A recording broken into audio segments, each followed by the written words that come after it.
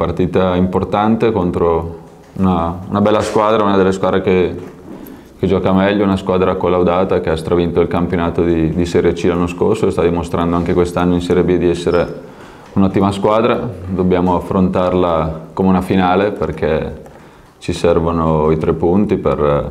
per uscire da questa, questo periodo di, di difficoltà e quindi dovremo affrontarla nel migliore dei modi, con l'atteggiamento giusto fin dall'inizio, cercando di, di, vincere la partita. La squadra giustamente era delusa per il risultato dell'altro giorno, quindi abbiamo, abbiamo, lavorato anche tanto sull'aspetto mentale, su, su, quello che non siamo riusciti a fare in queste partite. Abbiamo lavorato, adesso speriamo di, di avere dei frutti già da domani.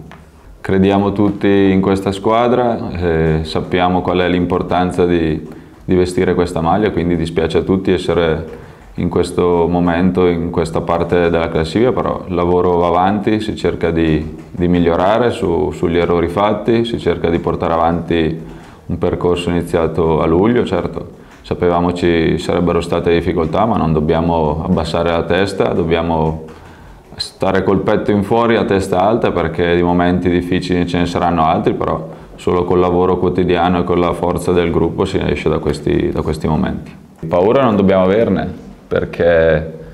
sappiamo che il campionato di Serie B è un campionato duro e difficile, però se ci mettiamo già lì a pensare in negativo non ne usciamo, dobbiamo pensare partita dopo partita, come abbiamo sempre detto, non facciamo proclami, ma però sappiamo che ogni partita diventa fondamentale ed importante, quindi i punti pesano, i punti cominciano a essere tanti e quindi c'è bisogno di, di, fare delle prestazioni degne del, del nome e della maglia che portiamo c'era qualcuno magari che, che, giocherà ancora, qualcuno che magari ruoterà perché tre partite in una settimana sono tante, quindi abbiamo giocatori pronti per, per poter giocare, giocatori che si sono riposati. Quanto riguarda Barreca Giordano, all'inizio giocava Giordano, adesso sta giocando Barreca, però li metto tutti e due sullo stesso livello, indipendentemente da, da quello che, che, stanno facendo, mi fido di loro e quindi in base all'avversario che affronteremo deciderò poi chi far giocare, però sono soddisfatto di tutti e due.